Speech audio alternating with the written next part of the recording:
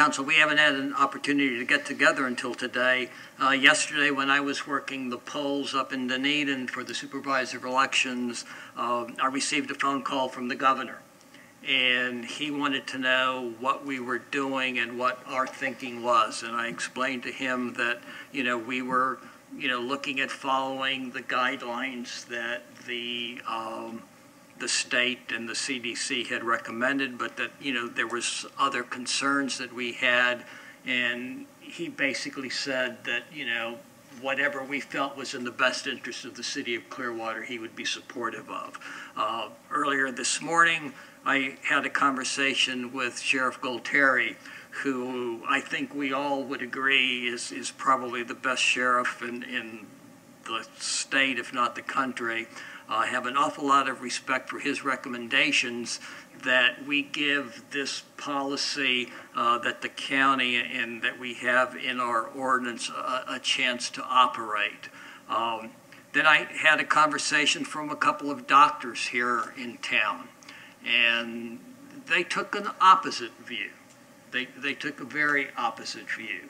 Uh, and I have, and as you know, we have received despite, you know, Mr. Sheff's comments, who I, you know, thoroughly respect, uh, he hasn't been on this side of the telephone answering phone calls that our staff has been answering about how reckless and irresponsible we are and how we don't care about anything uh, and we're moving forward by keeping our beaches open.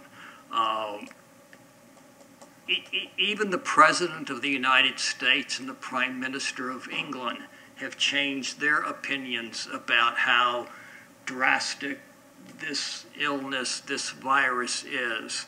And when, when you are the number one beach in the country, people look to you. And they look to you to be a leader.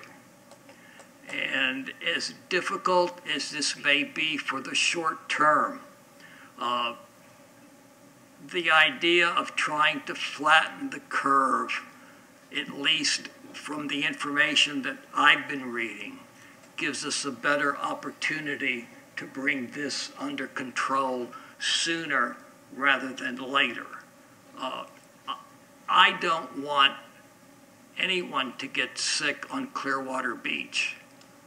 But I also don't want somebody getting sick on Clearwater Beach and then it coming back to haunt us because of what may happen later on. Uh, I would prefer that despite the concerns or, or, the thoughts that had been expressed to us this, e this evening and by each of you, that we would consider closing the beach immediately uh, so that there's no public access to the sand. Uh, I realize, you know, as the sheriff was saying, well, then you're just moving the problem. But others will follow suit. And this is an opportunity for the number one beach in the country to say that we value public health and we think that our responsibility is to do what we can as a community, as a city, as businesses on the beach to protect the public health as best we can. And we can always revisit this. Uh, we're going to see numbers going up. Uh, don't kid yourself because we've only got four cases in Pinellas County. Uh, it's it's going to go up. And I don't want it to come back and haunt us to say that it happened here because Clearwater was not willing to stick its neck out and, and to be a leader. 10 cases. 10. Okay. 10. Right now. So I, I would prefer that someone make a motion. You know, and one last thing. We're closing our libraries. We're closing our rec centers. Why aren't we closing our beaches? You know, and, and and that is rec centers are also open air. You play tennis.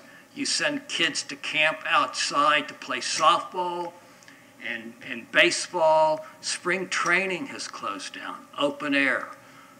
You know, I appreciate this. I feel for our employees, or I feel for the business community and its employees, but I would rather, I would rather keep them safe.